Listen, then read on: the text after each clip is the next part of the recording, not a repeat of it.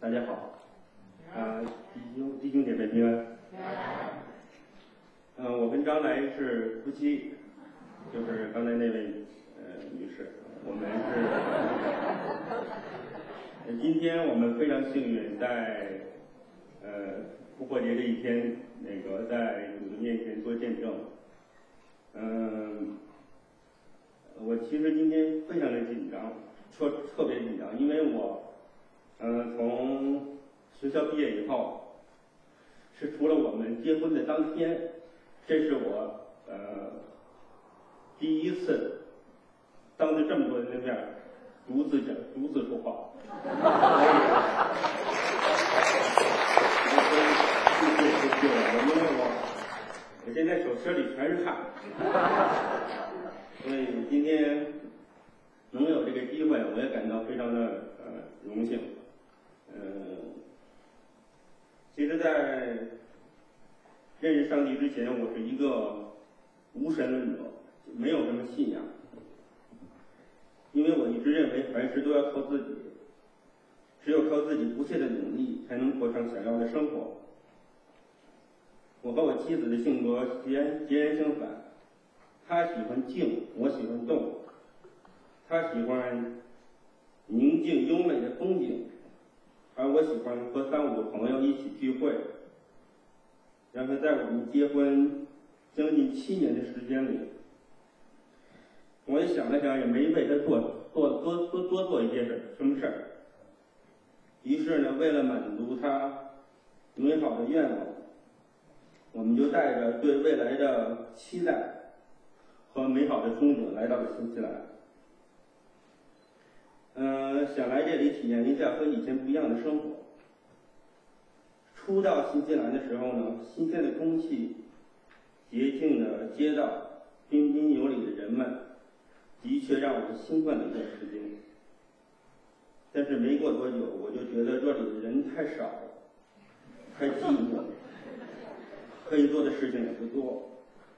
由于语言的问题，之前在国内的一些工作经验和专业技能也没有太多的用武之地，于是我就开始对这里的生今后的生活产生了担忧，会为会问自己这条路是否选的正确，也产生了质疑。一次偶然的机会，张雷的同学胡宁姐姐邀请我们参加。咱们教会的福音启发课，我抱着能多认一些华人朋友的心态去听了课。听了几次之后，慢慢的开始思考和怀疑，从小接受到的有关进化论的真实性，尤其是当王秉成博士有理有据的述说了上帝创造一切的时候，我发现。我的内心是愿意接受这个这个宇宙中至高无上的创造者。觉知的那一刻，我深深的承认自己是一个有罪的人。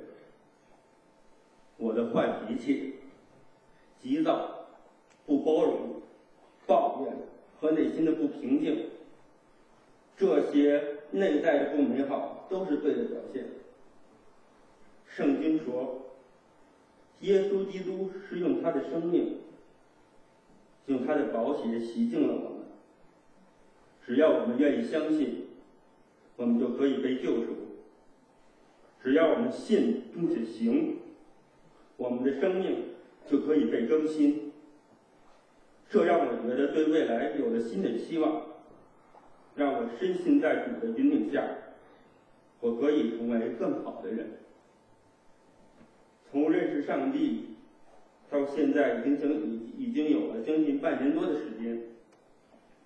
很多兄弟姐妹都说我们是蒙福的人，来新西兰没多久就可以认识上帝。我也有这样的感受。信主以后，我感觉他主每时每刻都在我的身边，祝福着我们的生活，监督着我的举止言行。我感触最深的是我与我妻子的关系。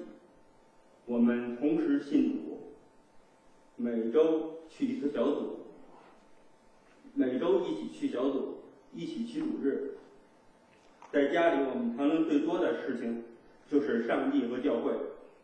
我们发现，我我们的生活充实了，寂寞也被填补了。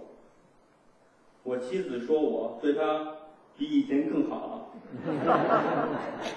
我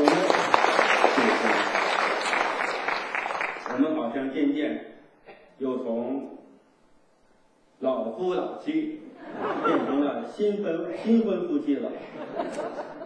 正如圣经中所说：“旧事已过，一切都是新的。”感谢主，更新我的生命，成为我的未来的路脚下的灯。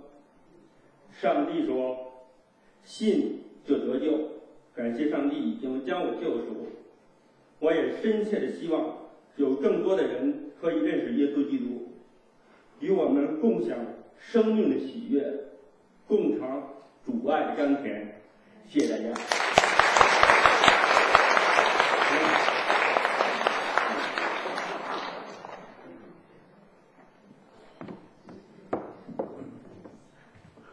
我们这个北京来的弟兄还是能侃啊！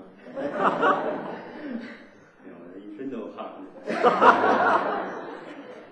呃，嗯，那个吕宁和张磊他们夫妻两个是去年呃到教会，然后那次呢很，呃，就是我，因为我们组长当时不在，就是陪他们一块儿去参加那个启发课。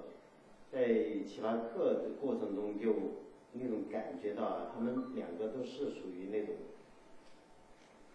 特别对爱、对良善和对真理有特别追求的那种，还有有一颗柔软的心，就顺服的心。我觉得这些正是因为这些特质啊，让他们非常母爱，所以后边儿，呃，就是启发课，然后后边儿洗礼班，然后基要整理班，最后到站在那个讲台上，都是顺理成章，也有水到渠成的事儿。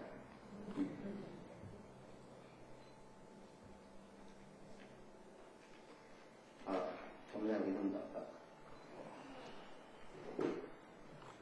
谢天父，感谢你在今天这个特别的日子，让吕宁弟兄站到这个台上受洗，归入你的名下，成为你的儿子。在往后的日子里，无论是在顺境还是逆境，在高山还是低谷。都求你亲自带领他，陪伴他，也求你亲自来塑造他，将成为你合用的器皿成为你的精兵感谢主好的奉主耶稣基督的你